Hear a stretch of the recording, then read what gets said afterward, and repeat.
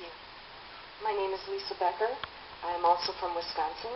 I have been a non-consenting test subject in military medical research. Um, I too believe my experience is referred to as no-touch torture, utilizing defense technologies.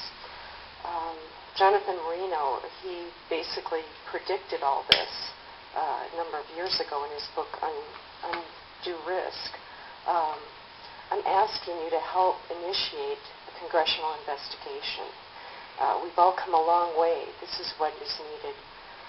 Uh, we want to have the accounts of this extreme human rights abuse that's going on in our country uh, documented and heard, all of the accounts.